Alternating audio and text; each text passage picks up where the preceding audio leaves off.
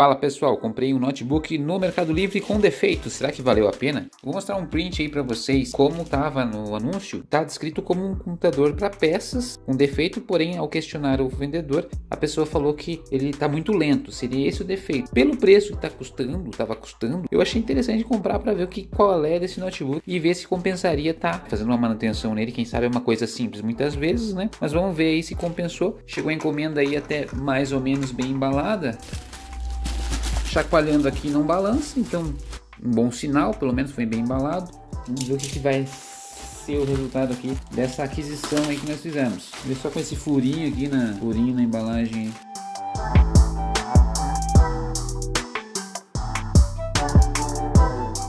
Aí ó, tá aí o notebook. Carregadorzinho tá aqui também. Carregadorzinho aí, 19 volts, 3.42 amperes. Bom, vocês podem estar vendo aí, pessoal. Tirei finalmente toda a plástica, tá marcadinho aí, naturalmente, né? Você não espera que o notebook de 200 pila vai ser perfeito. Tem marquinhas na carcaça. Nem sei qual é a configuração dele. E aqui tem até um, algumas marcações aqui, ó, aqui em 2023, ó, 14 de 2 de 2023. Ou seja, ele já foi para assistência. Não foi, não questionei também, mas então provavelmente ele já foi para alguma assistência. Talvez não tenha resolvido a questão da lentidão dele. Aqui, ó, temos o USB 3.0 aqui nesse modelinho positivinho, né? Por 200 pila, vamos ver o que dá pra fazer por ele aqui. Por dentro aqui até que tá legalzinho, como vocês podem ver aí. Rachadurinha aqui. Os rachadinhos. Será que liga fora da tomada aqui? Parece que tá sem carga. Vai até dar um barulhinho. Não, segurei, agora ligou. Ligou, gente. Espera aí que o brilho tá baixo, daí fica com esse efeito aí, pessoal. Deixa eu ver se eu consigo aumentar o brilho dele, ó. Eu deixei no máximo aqui, mas mesmo assim. Aqui o touchpad, tô usando, tá funcionando, ó. Tá funcionando. Fazer o procedimento de inicializar o Windows. Eu tô ouvindo um barulhinho aqui. Sabia que se conectar a uma rede agora pode economizar seu tempo depois. Ô, Cortana. Se você quiser tirar isso do caminho. Vou ativar a Cortana aqui, ela tá me enchendo o saco. Vamos inicializar aqui. Ver que tem várias sujeirinhas. A tela tá bem sujinha. Aceitar aqui os termos. Dá pra ouvir o barulhinho do HD trabalhando aqui, tá? Tem sujeirinhas aí no teclado normais. Aqui o nome de usuário. Vou colocar aqui meu nome. Agora eu vou ser o dono. Se funciona o teclado? Parece que funciona. Ah, eventualmente, às vezes foi um problema no HD, tá meio lento o HD, por ser mais velhinho já mesmo, é o que mais acontece. Ou até pelo processador, gente, porque o que é lento? O lento é uma coisa muito subjetiva, né? Mas na verdade é o, é o notebook que já não atende, a configuração do aparelho não atende à demanda, a necessidade dela. Vamos dizer que ela usa um programa, um software ali que exige um pouco mais, um notebook desse aqui provavelmente não vai atender. Geralmente tem um cérebro, e aí Windows 10 ainda com um HD mecânico, então fica mais limitado o desempenho mesmo.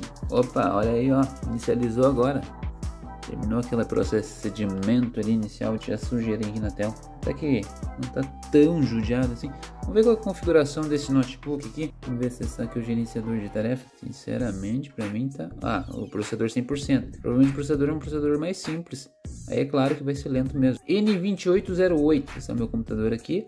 Ó, 500 GB de HD. Legal, bacana. Aqui na memória RAM tem só 4 GB. DDR3. Aqui a gente vê que o CPU que tá gargalado mesmo. É um dual core Tá? Dois núcleos você está vendo. Então, a, às vezes a lentidão que a pessoa tinha não tem nada a ver com o defeito do aparelho, e sim somente necessidade de uso. Às vezes a pessoa faz algum software não funciona. E do jeito que está aqui 100%, às vezes até o próprio navegador pode ter problemas aí para rodar 100%, gente. O que eu recomendo nesses casos aqui, pessoal, quando o aparelho é muito limitado em hardware, né, na configuração, é instalar um Windows modificado mesmo, não tem muito o que fazer. Um Windows 10, por exemplo, versão Lite, ou então esse Tiny 11, que é, é uma versão modificada do Windows 11, né, mais recente aí, que é bem mais leve e tal, tem menos recursos talvez desafogue um pouco aqui essa porcentagem elevada aqui do processador, porque esses notebooks aqui geralmente saíam com Windows 8, 8.1 e agora a gente já tem mais, bem mais recursos nos novos sistemas operacionais aí com o Windows. Conectar aqui na net para ver.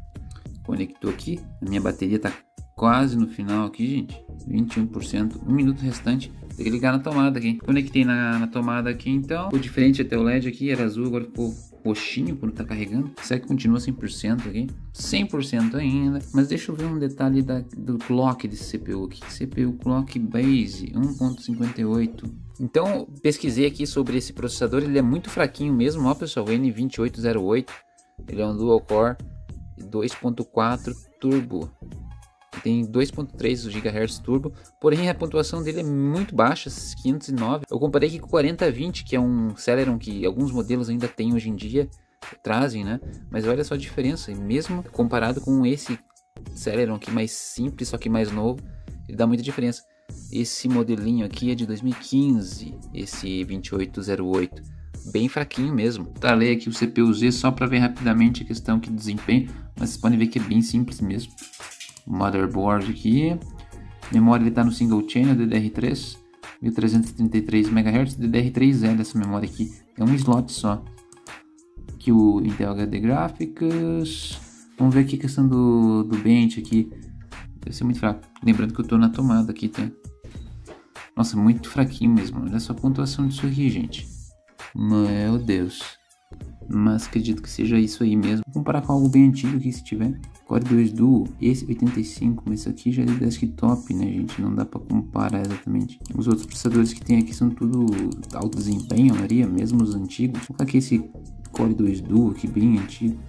Olha só, mesmo 42 do antigo aqui, dá 530 pontos. Nossa senhora, tudo dobro, triplo, pra ver como é limitado. Ou seja, não é de se admirar que ele tá toda a vida 100%. Tá sendo usado 100% quase, mas 88% é tudo no Microsoft Edge. E não tem nada aberto aqui no Microsoft Edge. Só a página de abertura aqui, de apresentação, de, de bem-vindo. Então realmente a situação é crítica. Será que tem alguma coisa que a gente pode fazer para esse notebook ficar usável, pelo menos? Talvez um sistema operacional diferenciado com Linux ou até mesmo com Android modificado para laptop. Outra coisa estranha aqui é que além de lento aqui, ele eu coloquei para carregar, ele estava com 20%, agora pouco. Não deu nem 10 minutos aqui, ele já está 100%. Vou até tirar aqui. Então realmente a carga dele aqui não está marcando corretamente. Então é outro detalhezinho, não tá legal. Vou instalar o HD Sentinel aqui, que é um software para a gente checar como que está o estado do disco rígido, para a gente ver se não tem alguma imperfeição, algum bad block nele, né? Em termos aqui de, de HD, ele está marcando que está 100% a vida útil dele, ele está com nem tanto uso assim, digamos, 464 dias corridos aí e ainda estima uma boa vida útil ainda. Não dá para se basear só por esse software, mas ele dá uma base boa aí de que o HD ainda está certinho, está funcionando ok. Vou até arriscar colocar um YouTube aqui, será que vai rodar?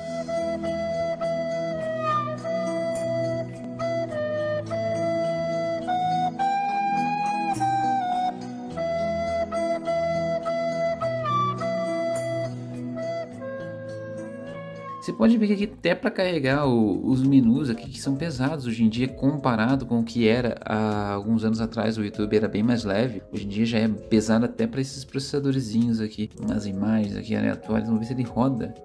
Olha só a dificuldade para rodar um navegador, gente. Tá difícil.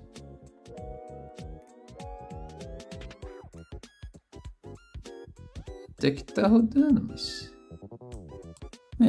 Dentro das limitações que tá rodando a 480p, claro. Não ia rodar 720 nem a pau, porque aqui só no 480p ele já fica aí, né, parado, já fica 100%.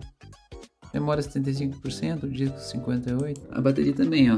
Acabei de tirar ali da tomada, já baixou para 50%. Ou seja, ela aguenta um pouquinho, mas não dá para depender dela não. 200 pila. O que, que vocês acham aí, pessoal? Tem como dar utilidade para um aparelho desse? Deixa aí no comentário o que vocês acham. Se para desligar ele é lento também. Até para fechar as janelas. Fica aqui.